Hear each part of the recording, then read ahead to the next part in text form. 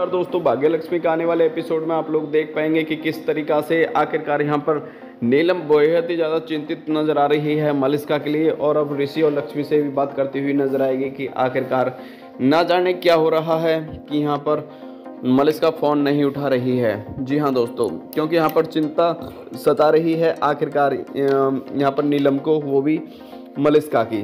क्योंकि दोस्तों, इस समय लग रहा है नी, नीलम को भी कि ऐसा ना हो मलिस्का कोई संकट में हो। क्योंकि दोस्तों बलविंदर के संकट में फंसने वाली है आखिरकार यहाँ पर मलिस्का और मलिस्का थोड़ी घनी नहीं बल्कि एक अलग ही लेवल से फंसती हुई नज़र आने वाली है।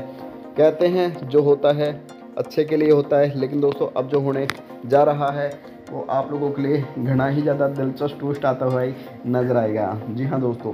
सूत्रों के हवाले से इस समय एक और भी बड़ी खबर मिलती हुई नज़र आने वाली है, जहाँ पर साफ़ साफ़ बोलता हुआ नज़र आएगा, वो भी ऋषि, कि मलिस्का खुद बहुत बड़ी शैतान है, उसके ऊपर भला क्या हो सकता है?